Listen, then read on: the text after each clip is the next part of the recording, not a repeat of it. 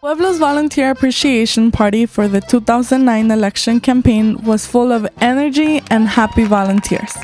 They were pleased that all the candidates and issues endorsed by Pueblo won, proving to them that working people in Santa Barbara have a powerful voice when they work together as a team. Although it was a, a small election, I think uh, we need to treat every election as any other election. We had to build power. We had to continue to uh, create leadership among the people that work with the organization Pueblo. Uh, it's about how we can continue this momentum that the organization has created through the years in every election been part of Pueblo for several years. Uh, through the and through the years, I, I realized that uh, election day, as I learned it the first time, is the most important day, and you know, all the whole election, it's important. So this time I participated as a part-time uh, organizer, but uh, it's just because I, I believe the uh, working for no for just so social justice is important all the time. Uh, and that's why I, like to do my part so some other people can do their part too. Oh, this past election was very, very important for all of us uh, in the Latino community, especially.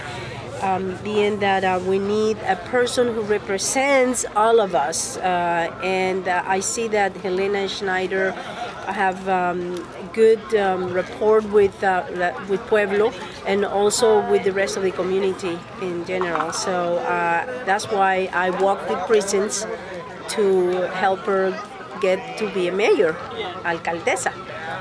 And also Grant House, which um, uh, is another gentleman who has been very uh, involved also uh, in the Latino community and um, I truly um, believe that he's really trying to make it better for, for us here.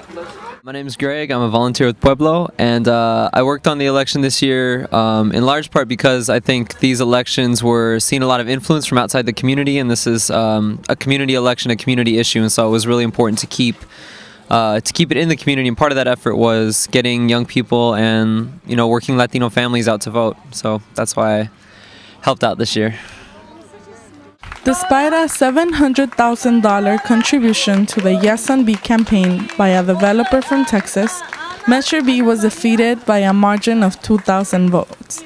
It maintains the current building height limit of 60 feet downtown, which allows for the inclusion of affordable housing and assures the smooth continuation of the expansion of our city's only hospital.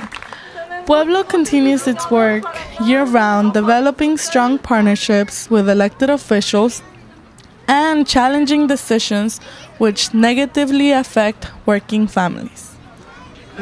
I'm committed to doing political activism because I believe that we can always make the world we live in a better place and I've just learned through years of being involved um, again and again that if you if you think of something that needs to get better and you come up with a plan to do it and you work hard that you can you can make it happen so i i think that that's really rewarding um, and um, i think that there's a lot of work left to be done, and there's a lot of things that we can still accomplish. And so um, I plan to con- continue being being an activist because I love making change, and I love meeting other people who who want to do the same thing.